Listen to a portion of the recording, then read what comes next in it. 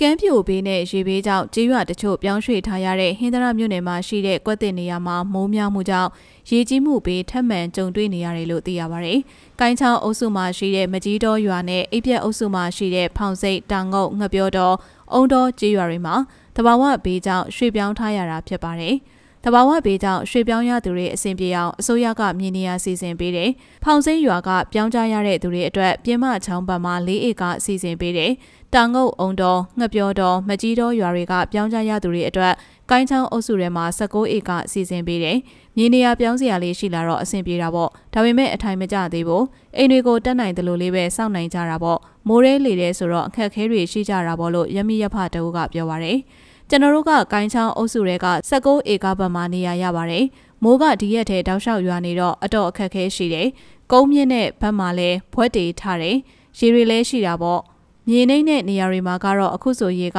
ခါလောက်ပေါင်လယ်လောက်အထိရောက်လာတယ်။အဲ့လိုရေဝစ်တာများတဲ့နေရာတွေမှာအင်ဂျီ60ဝန်းကျင်လောက်ရှိမယ်။မိုးကြောင့်ဒုက္ခပေါ်ဒုက္ခဆင်းကြရတာပေါ့မလုံခြုံတဲ့အိမ်တွေအတွက်ပိုဆိုးတယ်လို့ဒေသခံရွာသားတအုပ်ကဖြေကြပါတယ်အိပ်ပြက်အုပ်စုက